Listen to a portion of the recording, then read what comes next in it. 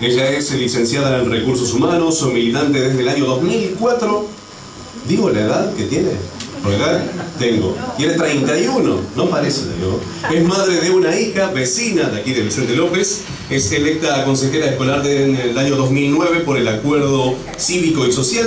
Actualmente preside de la Comisión de Acción Social del Consejo Escolar de Vicente López. Y ella es Julieta Adis Duprat. Le aplauso.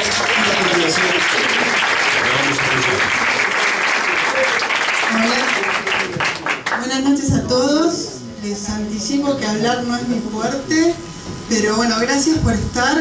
Gracias a las consejeras escolares que vinieron. Gracias al personal del consejo que vino. Em, bueno, nada, qué decir, es un honor compartir la lista con Paola y con la gente de la coalición que tanto quiero. Y bueno, mi compromiso va a ser el de siempre, seguir luchando por las escuelas públicas para brindarles calidad, con una gestión transparente, que es lo que venimos haciendo hasta ahora, este, y trabajar mancomunadamente con docentes, auxiliares, gremios, para que pueda salir adelante de una vez la educación pública que tan relegada está en la provincia de Buenos Aires.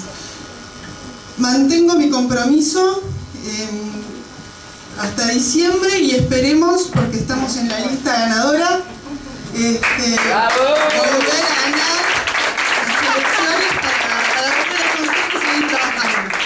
Muchas gracias a todos.